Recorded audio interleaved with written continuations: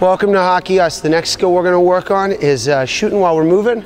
Uh, it's a pretty basic drill. Um, a lot of guys and kids, you know, they get the extra ice time before practice or before a game, and they go out and they just take shots right from in front of the net, standing still. It's kind of, it's okay to warm up like that, but uh, you should be trying to get your feet moving and get warmed up. And it's important to be shooting from realistic places, you know. You're not always going to get a shot from right in the middle of the ice. So uh, what we're doing is we're going to be coming off the, we're to come off the wall. We're going to take a quick shot from between the dot and the top of the circles. This is a good place to shoot a lot of times, especially if you get a pass in the zone or uh, you, you, know you're coming off the wall and somebody gives you a pass.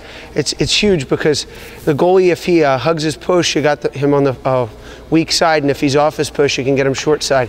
And it's a really good shot to take to cause rebounds. So all we're going to do is we're going to come off we're gonna take about two steps, have our head up, snap the puck off, okay? And then we're gonna stop, come back, do it again. It's a good workout too, guys. You know, it'll get you warmed up for the game, it'll get you sharp, and it also is a good workout to get your blood pumping. So we're gonna do, uh, I'm gonna do three shots, and then I'm gonna move to the next pile of pucks. There we're gonna take two step shot, and then the last pile, we're gonna take two step shot. And we're taking snapshots every time here, and we're gonna point at our target. All right, so I'm gonna start here. I'm gonna come off, shoot, back, reset, come off, shoot, back, reset, back, reset. Notice, I'm stopping and starting. A lot of guys will take this shot and turn away. Take this shot and turn away. It's important to follow your shot.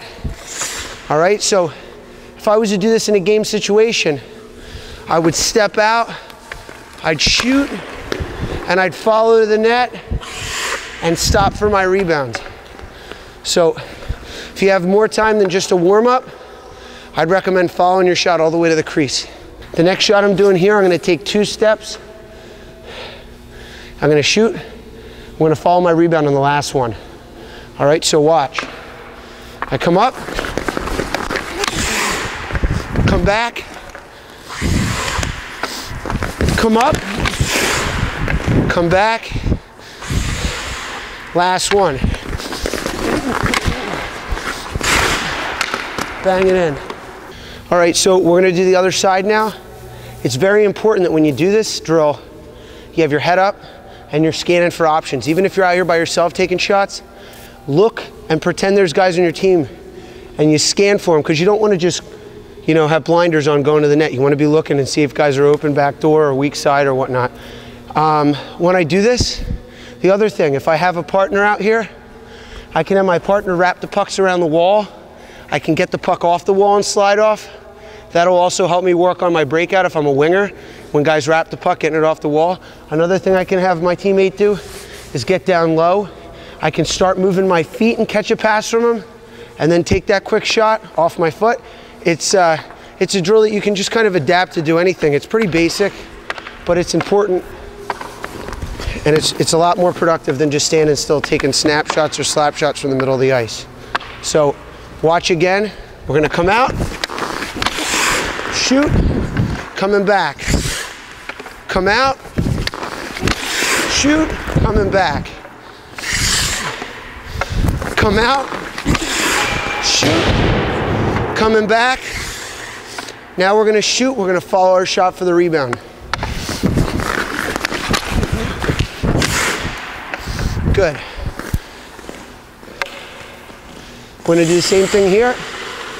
Except we want to get that shot up before the dot. We don't want to walk it in too far because it kind of takes a point away from possibly getting a rebound. So.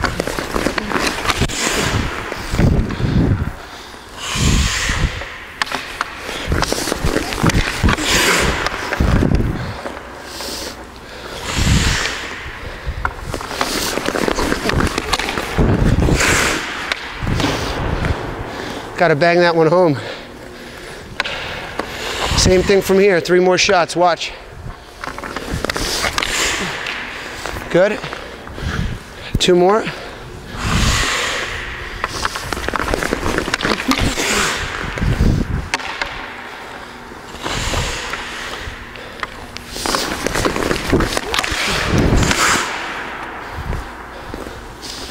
Thanks for visiting Hockey Us.